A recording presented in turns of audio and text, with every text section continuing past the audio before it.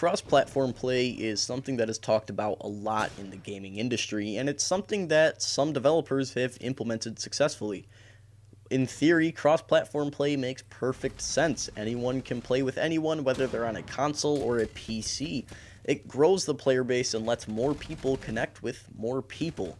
But is that something that would benefit Rainbow Six Siege, or would it hurt it more in the long run?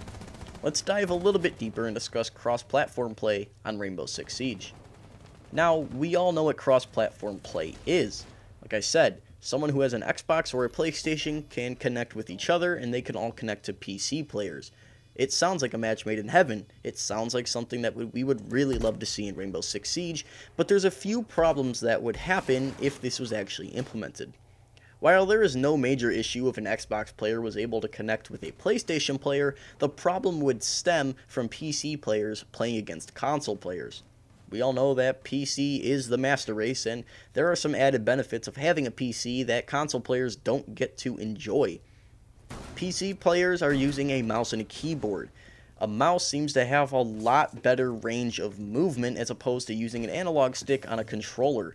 So PC players are able to adjust their aim more properly and control their recoil and just be a lot more precise and accurate with their weapons as opposed to console players. That's not to say all console players have bad aim, but PC players just have it a little bit easier if they're used to using a mouse and a keyboard.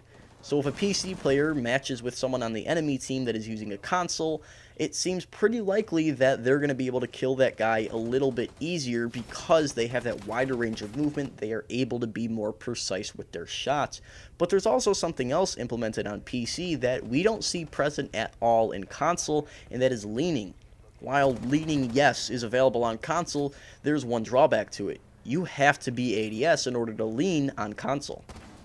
When you aim down the sights of your weapon, you click either of your thumbsticks, and you will lean either to the right or the left, but you have to be aimed down the sights for this. If you're on a PC, you can click whatever the corresponding key is on your keyboard and you will lean either to the right or the left and you do not have to be ADS for that. So you can lean while hip firing, something that console players do not have the luxury of utilizing.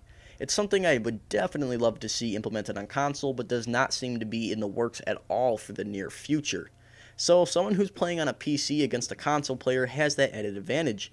Number one, they're able to be a little bit more accurate because they're using a mouse, but number two, they're able to lean without being ADS. When you're ADS, you move a little bit slower, things don't happen as fast. So if you're leaning while being hip fired, you're able to just move a little bit quicker and do more things than you could with a controller.